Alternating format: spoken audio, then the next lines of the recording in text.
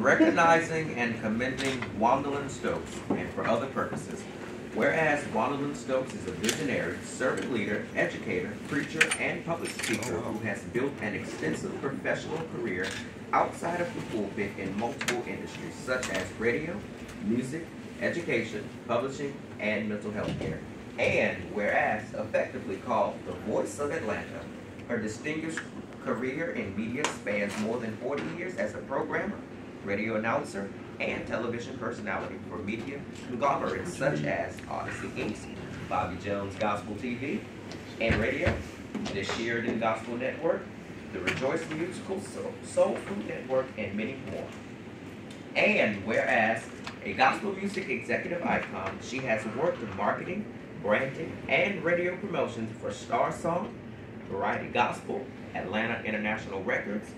Malaco Records, Savoy Records, Benson Music Group, and Sparrow Records.